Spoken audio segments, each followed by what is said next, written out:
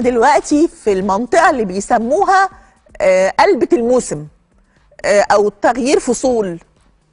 الفترة دي كتير قوي مننا حتى الكبار مش الأطفال بس بتجيلهم آه، زكام حساسية أنف كحة حاجة ما بنبقاش قادرين نفسر إيه سببها حاصلة إزاي هل إحنا عشان تقلنا وخففنا أو خففنا وتق... يعني ما بنبقاش فاهمين. فمعانا دلوقتي دكتور محمد صلاح استشاري طب الأطفال. آه هنسأل بقى حضرتك على طول. ربنا- شرفتني يا دكتور. ربنا يخليك، أنا أنا. بتشرف جدا بوجود حضرتك معايا. والله أنا ببسط والله العظيم. مع حضرتك والله. وبستفيد والحقيقة كمان ال- السادة المشاهدين ربنا بيستفيدوا إن حضرتك مش بتخضنا. وبتقول لنا الأمور بالراحة وبتعلمنا. ربنا يخليك. طيب نعمل إيه إحنا في فكرة قلبة الفصل دي أو تغيير الفصل أو الزكام والرشح والحساسية والكحة؟ بسم الله الرحمن الرحيم. إحنا عايزين نقول انه إنه الفترة دي في فترتين في السنة كده اللي هي فترة ما بعد الصيف ودخلت الشتاء وبعد الصيف الصيف بعد الشتاء ما بتخلص ودخلت الربيع. ربيع بالظبط. فبس الفترة دي بقى أعنف شوية على أساس هي بتتواكب مع دخول ال- الحضانات والمدارس وإلى آخره. آه، الفترة ديت الجو بالنهار بيبقى حر شغالين تكييفات وبالليل الجو ممكن يبقى فيه لسعة هواء وبعد كده ممكن يبقى ساقعة شوية. آه، التغير المفاجئ في درجة حرارة الجو المحيط ده بتثير نوعين من الأمراض. أمراض المعدية يعني كل أمراض المعدية سواء ال- النزلات المعوية نزل- نزلات البرد كل ما تتخيليه. وحتى العدوى الج- الجلدية كل ده بينتشر في فترة. وأمراض التحسس أو الحساسية. لأنه الحساسية إحنا بنسميها هو تفاعل شيء أو تفاعل الجسم مع شيء طبيعي بشكل غير طبيعي. يعني إيه؟ أنا خدت أنا كإنسان ما عنديش حساسية. خدت شاور وطلعت في الهواء ما يحصلش حاجة.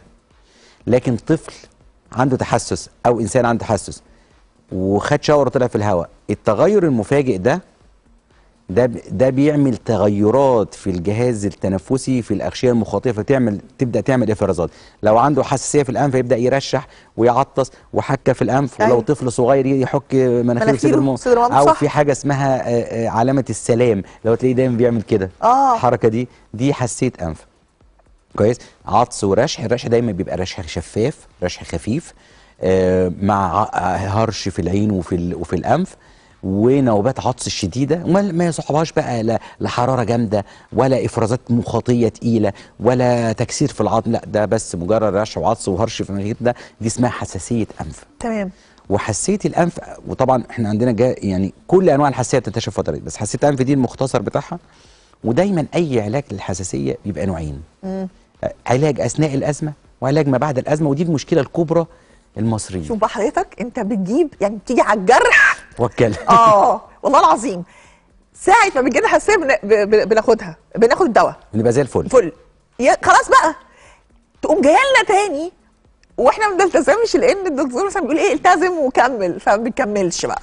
بالظبط. هي دي هي دي الخطأ وده اللي دايما بنركز عليه ودي من الأخطاء الشائعة جدا إن أنا عندي حاجة اسمها الكنترولر أو التحكم. إزاي أنا كطبيب أخلي الدور ده ما يجيش أو ما يجيش جامد أو ما يجيش كتير أو ما يجيش قريب من بعض فاهمين أباعد بين الأزمات أباعد في شدة الأزمة أباعد في قوة الأزمة وبالتالي أقلل غياب الطفل من المدرسة آه. أقلل تعب الطفل أقلل عدم تركيزه يعني أنا آه آه يعني أسمع كلام الدكتور وحضرتك لو قلت لي نشوه خدي الدواء ده.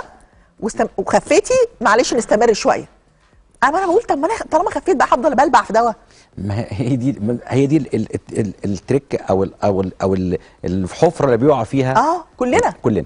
إن إحنا على فكرة على مستوى العالم. إحنا إحنا بنقول انه إنه ال controller ده اللي هو المفروض الطفل بيمشي عليه فترة طويلة. ممكن حسب طبعا كل أنواع الحساسية حسب نوع حساسيه الصدر أو أو الأنف أو الجلد. ممكن أمشي ثلاث شهور ممكن ست شهور ممكن long life ممكن يبقى فترة طويلة جدا. فترة يعني سنين. إحنا إحنا دورنا ان إحنا ان أنا يعني دايما بقول إيه الطفل ده عنده حساسية في الصدر والحساسيه دي درجات حساسية آه. الصدر حتى درجات. أنا عندي أنا كطبيب عايز اعمل control عشان اعمل اوصل لأربع حاجات لازم يتعملوا إنه الطفل ينام كويس آه. إنه يلعب كويس يمارس حياته الطبيعيه مش إن الكحة تخف. يعني فكرة إيه؟ إن أنا آخد علاج ال ال الوقاية حلو. عشان عشان الكح الطفل ما يكحش كلام مش صح. يبقى هو ينام كويس يلعب كويس ما يحتاجش جلسات بخار أو جهاز البخار عن طريق التنفس. آه. كويس؟ وإنه يروح المدرسة. أيوه.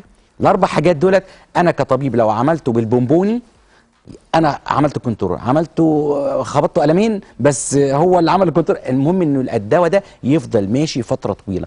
لأن إحنا عندنا الحساسيه كمان في كذا نوع. يعني في نوع بيبقى حساسية مع المجهود بس. آه. وفي كحة ليلية بس. صح. وفي كحة عند المجهود وفي كحة ما بين الفصول بس وفي كحة طول الصيف طول الشتاء أيوة. وفي كحة في الصيف بس. طب دكتور اللي عندهم شرقة دي على طول بيعملوا الحركة دي؟ ومفيش دواء نافع معاهم؟ ده عندهم حساسية ولا عندهم حاجة ولا آه، الشرقة المتكررة دي ممكن تكون سببها إفرازات خلفية من الأنف يعني ممكن يبقى عنده التهاب في الجيوب الانفيه مزمن آه. أو حساسية في الأنف مزمنة. أو تحسس في الجهاز التنفسي يعني حساسيه في صدره آه. أو ارتجاع في المريء وده لقوا إنه تقريبا 30 ل 40% من حالات الكحة المتكررة أو الكحة المزمنة أو الكحة الليلية بيبقى فيهم آه، آه، جزء ارتجاع. ارتجاع يعني لذلك بتوع الصدر دايما تلاقيهم كتبوا حاجة للارتجاع مع علاج الصدر أيوه صح لأنه الارتجاع ده ارتجاع السوائل أو ارتجاع الأبخرة اللي موجودة في المعدة دي حمضية فبتيجي على الجهاز التنفسي فبتعمل إثارة فتبدا تعمل الإيه النحنحة أو الكحة المتكررة طب في علاج آه، أو مش علاج وسيلة تخلينا نقله الفصول دي ما تجيلناش أمراض حساسية؟ يعني نعمل وقاية إزاي؟ أو ولا ولا نروح ناخد الدواء قبل ما يبتدي الفصل؟ أيوه بالظبط كده. والله العظيم؟ هو, هو بس ده مش لكل الأطفال. آه. للطفل هو الطفل ده عارف إن عنده حساسية صدر وعنده آه، ضيق شعب هوائية بيجي له متكرر فببدأ له قبل بداية الس- السيزون بقى بت- بتاع ال- التقلبات إن أنا آخد العلاج الوقايه ده منتظم هقلل إنه الأزمة تيجي هقلل حتى لو الأزمة جت تيجي خفيفة ومش هتبقى عنيفة وبالتالي أقلل إنه ياخد أدوية ما بين المضادات الحساسية ومضادات الكورتيزون أو أو أدوية الكورتيزون أو أد- مضادات الحيوية كل ده يقل جدا بحاجة بسيطة ممكن أمشي عليها في الفترة دي.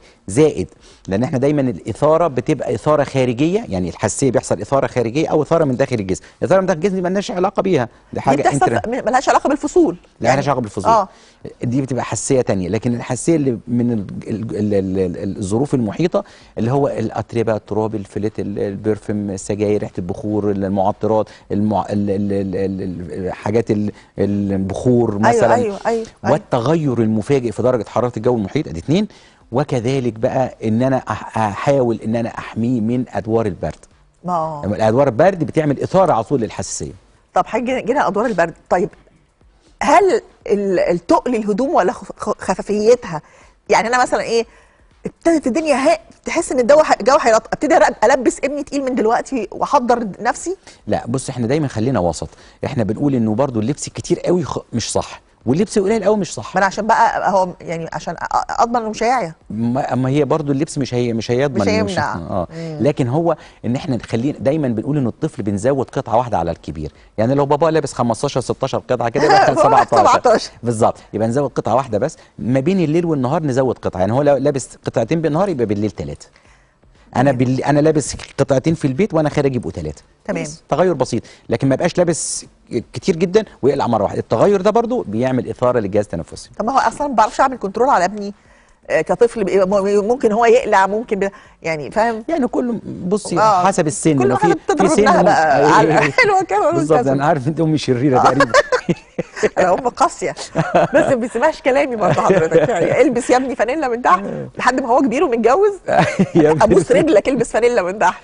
والله نفسي نفسي أحاول برضه أغير الموضوع ده مع ابني. برضه حاجة صعبة. ما أعرفش الشباب ما مش بيرضوا يلبسوا ليه فانيلات ب... ب... بحمالات حتى يعني أي حاجة مفيش آه. لا هو هو برضه عايزين نقول إنه إنه ال- ال- ال- التغي ال- التدفئة بتيجي مش مش بتقل القطعة قد عدد القطع يعني آه. لو قطعة قطن وقطعه قطن بينهم الهواء ده طبقة عازلة فبيدي تدفئة أحسن من إنه يلبس حاجة صوف تقيلة بس بالمناسبه يعني. آه والله يعني مش شرط اتقل على ابني كطفل. آه، مش لازم ألبس صوف وبتاع.